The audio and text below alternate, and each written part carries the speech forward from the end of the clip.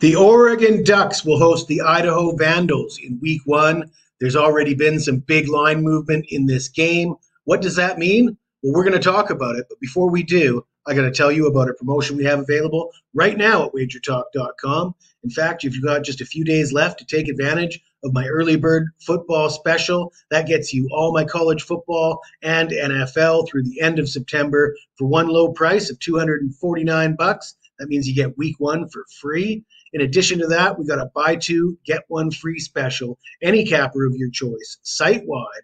Uh, the details are in the ticker below. As always, though, no pressure to buy anything, no purchase necessary. Feel free to tune in and just absorb the free content. The only thing I ask from you is that you take the time to smash that like button. That'll allow me to keep on putting out these videos. We got Oregon, a 44 and a half point favorite, total sitting at 62 and a half and the bookmakers are struggling to put out accurate numbers for these FCS versus FBS games. We've already seen a couple of examples of that this season with Montana State against New Mexico. Montana State opened as a four and a half point favorite. They got bet all the way up to a two touchdown favorite on the road at New Mexico. They barely got the win and failed to cover. And then you had Hawaii opening as a 29 point favorite. That game got bet up all the way up to 41 and a half. Hawaii didn't cover either. Uh, Oregon, though, they're a covering machine, especially in week one versus an inferior opponent. They did score 81 points against Portland State in week one last year.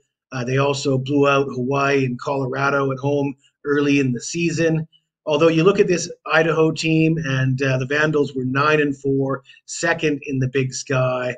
Uh, they actually beat that Montana State team that got so much respect. Montana State was the biggest ever favorite in a game between an FCS team and an FBS team. Um, and yeah, they, they beat them. They also lost by just two points to the Big Sky champs, the Montana Grizzlies, another team that gets a ton of respect. So there might be people looking at this Idaho Vandals team and thinking, you know, they compete with the upper echelon teams in FCS. You got teams like North Dakota State, South Dakota State. They're on the road at Colorado and Oklahoma State. They're only getting single digit numbers. And you got Idaho getting 44 and a half points.